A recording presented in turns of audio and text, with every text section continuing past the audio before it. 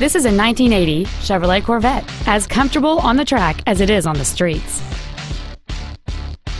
Its top features include leather seats, a rear window defroster, and this vehicle has fewer than 46,000 miles on the odometer.